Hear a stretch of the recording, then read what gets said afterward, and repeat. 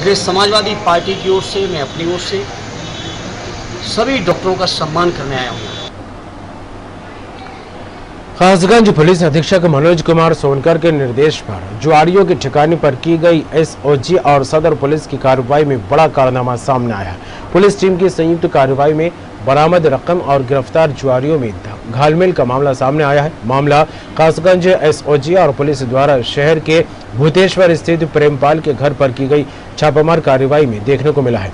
चर्चा है एसओजी और सदर पुलिस की टीम ने प्रेमपाल के घर पर चल रहे जुए के फल पर छापा मारा था। यहाँ से पुलिस ने 22 लोगों को गिरफ़्तार भी किया है, लेकिन पुलिस टीम ने छह लोगों को छोड़ दिया है, जबकि पंद्रह लोगों का आरोप पत्र न्यायालय में दाखिल कर दिया गया है। जब इस मामले की जानकारी मीडिया कर्मियों को हुई तो पुलिस ने आनंद फानंद में पूर्व में छोड़े गए जुआरियों को जारी प्रेस नोट में 15 दर्शाकर पी आरोप।